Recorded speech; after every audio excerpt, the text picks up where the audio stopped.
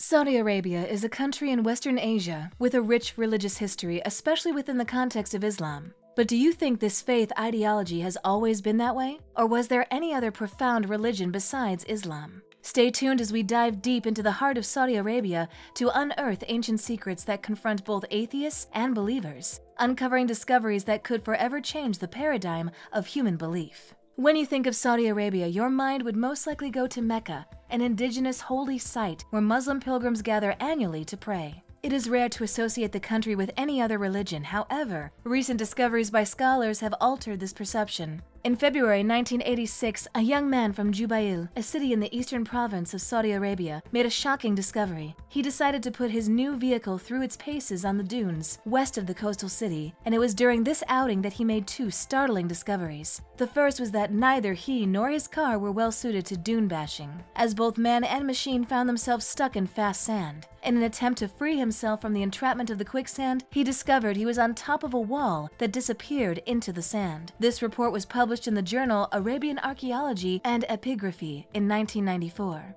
Although the young man had no idea what he had found at the time of discovery, he quickly realized that it must have been very old. Having freed his vehicle and returned to Jubail, he alerted the authorities of this discovery. Further research revealed that he had stumbled on the remains of a Christian church, long buried beneath the drifting sands. Archaeologists who later excavated the site found an open-walled courtyard, about 20 meters long, with a doorway leading into three rooms. The central room at the eastern end of the structure was determined to be the sanctuary where the altar would have stood. The room to the north was where the bread and wine for the Christian ritual of the Eucharist would have been assembled. To the south was the sacristy, where the sacred vessels and the priest's robes were kept. All the walls were covered in gypsum plaster, with clear impressions of four crosses, the distinctive symbol of Christianity, each about 30 centimeters tall. Several stone columns remained intact, as did a pair of decorative plaster friezes featuring a pattern of flowers linked by vine motifs. Further findings revealed that this was not just any church, as archaeologists dated it to the 4th century AD, predating the coming of Islam by about predating the coming of Islam by about 300 years, and proving to be among the oldest known Christian churches in the world. The discovery was just one small piece in a historical jigsaw puzzle which has since been all but completed, assembling pictures of a time when two faiths, Islam and Christianity, coexisted along the shore of the Arabian Gulf. Now, 36 years after the young Saudi man's discovery, another puzzle has come to light with the excavation of a Christian monastery on Siniya Island just off the coast of the Umm al Quwain in the United Arab Emirates. Using pottery and carbon dating of organic remains found in the foundations of the complex, the monastery has been dated to be between 534 and 656 AD a period that spans the lifetime of Prophet Muhammad, who was born around the year 570 and died in 632. As you might have been wondering if Christianity has been in existence in Saudi Arabia over the years, why is the religion far from known to be practiced in the country in recent times? As we dig further into this discovery, the answer to that will be unearthed, relieving your curiosity.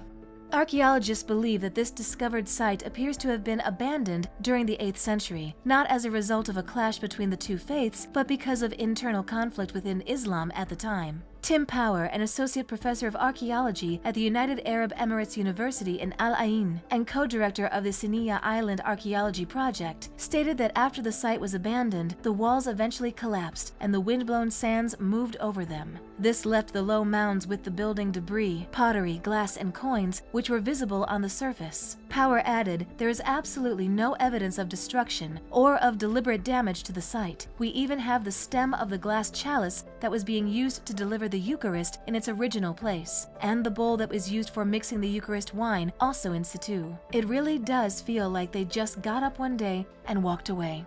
Power believes the site was abandoned not because of religious differences, but because of the Abbasid invasion of 750 AD, when the Abbasid Caliphate, based in Mesopotamia, overthrew the Umayyads. He said, This fits our ceramic dating and radiocarbon dating for the abandonment. We know from the Arabic historical sources that the Abbasid invasion was very violent, and the coastal towns of the Emirates were destroyed. He concluded that these people fled in terror at the prospect of the invasion by the imperial authorities in Iraq, who were trying to maintain control of their restive provinces. The existence of the monastery right up until this moment, in the mid-8th century, more than a hundred years after the death of Prophet Muhammad, is evidence that there was clearly a degree of intercommunal, interfaith tolerance at the local level. Power says it is a common mistake to assume that Christians of the Gulf at the time of the rise of Islam were outsiders. There is a great deal of historical and inscriptional evidence that tells us that most of the Arabian Peninsula was probably Christianized until the rise of Islam. And although Christianity began to wane as Islam rose, Christians were not seen as outsiders but as family.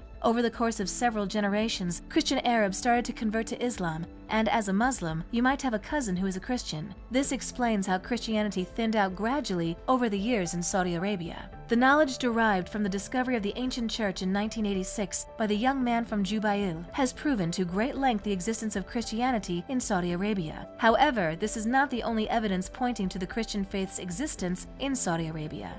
There is a second discovery of a Christian monastery in the United Arab Emirates. In 1992, the newly formed Abu Dhabi Islands Archaeological Survey, founded by the United Arab Emirates then President Sheikh Zayed, began investigations on three islands. They found tantalizing clues on one of the islands named Sir Bani Yas, just 7 kilometers off the coast in the western region of Abu Dhabi. The remains of several courtyard houses and pottery fragments dating back to the 6th and 7th centuries AD were identified. This archaeological survey reported its findings in a paper published in 1997 that a very large and complex structure emerged which now proves to be a monastery, with a church standing in its center within the courtyard. There is now a wealth of evidence, both textual and archaeological, testifying to the existence of Christianity in the Gulf from at least the 4th century AD until the first couple of centuries of Islam. In the midst of a vast, unyielding desert, a story unfolds, one that has been retold, cherished, and revered for millennia. The story of a single man,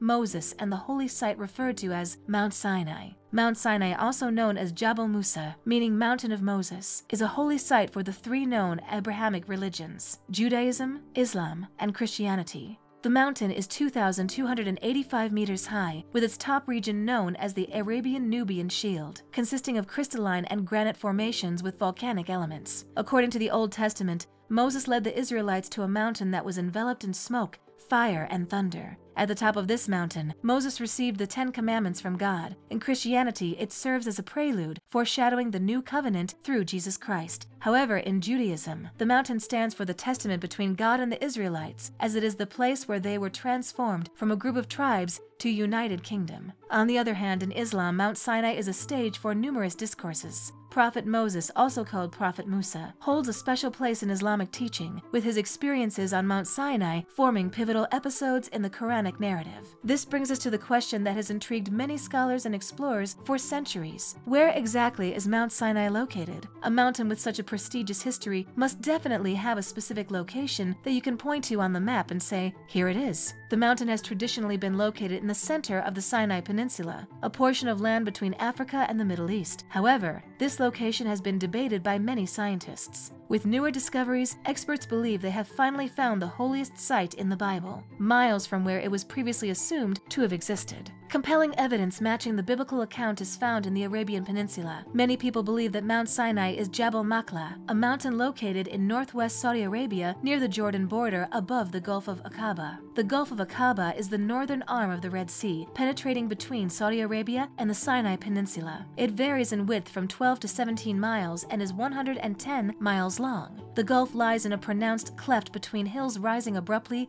to about 2,000 feet, and it is part of the complex East African rift system as its head touches the Egyptian, Israeli, Jordanian, and Saudi Arabian boundaries. Consequently, the Jebel Makla has blackened peaks as if scorched by the sun or fire and lies near Nuweiba Beach, where scientists have found land paths underneath the water, depicting where God would have parted the Red Sea for Moses and the Israelites in the book of Exodus. According to biblical accounts, the Israelites were followed by Egyptians and chariots, but when they reached land on the other side of the water, the sea swallowed the Egyptians. According to Swedish scientist Dr. Lennart Moller, a chariot-like shape was found in coral in the area, and he noted to the outlet that the metal and wood had long ago disintegrated. On the way from the beach to the possible Mount Sinai is a large split rock with signs of water erosion despite being in the middle of the desert. Scientists believe that this distinct landmark could be the rock God commanded Moses to strike, which then gushed forth water, miraculously providing for the Israelite population as recorded in Exodus 17 verse 6. The experts also discovered a site which appeared to be an altar near the base of the mountain, similar to the altar Moses was said to have built at the foot of Mount Sinai from uncut stones in Exodus 24, verse 3. Archaeologists are well known for uncovering ancient history, but this 8,000 year old settlement found in Saudi Arabia offers a rare view of prehistoric religion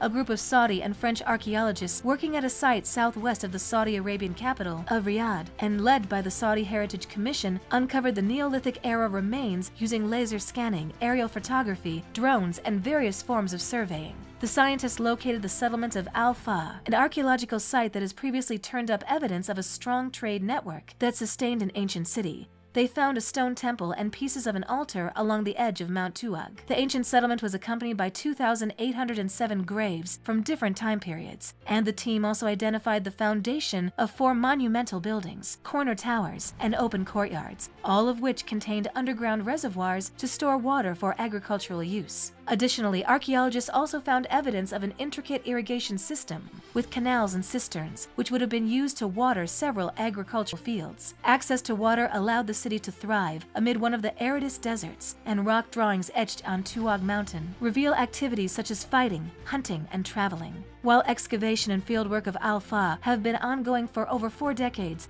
this discovery of human settlement has offered a more comprehensive overview of religious life in the ancient city. Saudi Arabia has been known for centuries to be a country that practices Islam, but with these discoveries made by scientists, we can deduce that this might not have been the case in ancient times. One can only imagine what big ancient secret is waiting to be unearthed along the terrain of the Arabian sands. What discovery did you find most intriguing? Is it the discovery of the evidence of Christianity in this renowned Islamic country? Or that the holiest mountain recorded in the Bible might actually be in Saudi Arabia?